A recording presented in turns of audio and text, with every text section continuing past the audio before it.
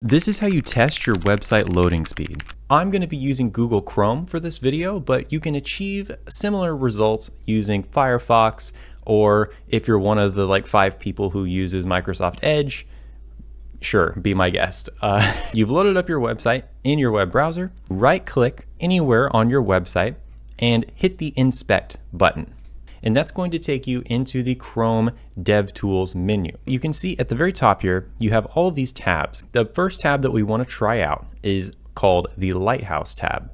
So Lighthouse is Google's proprietary website testing program or software. We're really only interested in performance for this video, so I'm going to uncheck these other three. All you have to do to get this working is you just hit the Analyze Page Load button.